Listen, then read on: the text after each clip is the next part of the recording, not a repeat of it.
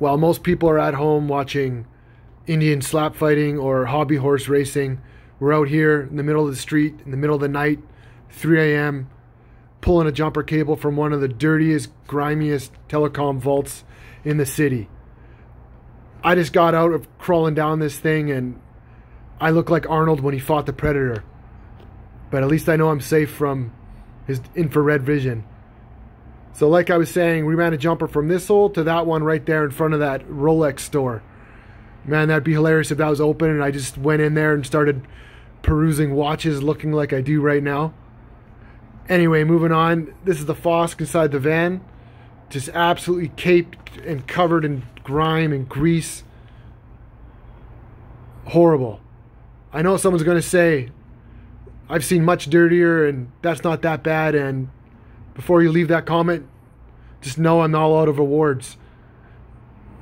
You see me put that piece of paper down? Pretty interesting. That paper said audit from 1999. Just gives you an insight into the age of some of this infrastructure. So what I'm doing is just kind of going through and just getting a lay of the land of what everything looks like. And right here I notice broken module. This splice chip is overloaded and broken. Perfect. I just know that's going to be my splice tray. I just know it. First things first, find my OSP tube I'm working with, and there you are, you little guy. You see that, number three? That's the tube I want. So what I'm going to do is follow it to the splice tray. Sometimes I get a little Sharpie when it's like this, and I make a little mark to kind of not lose track of it.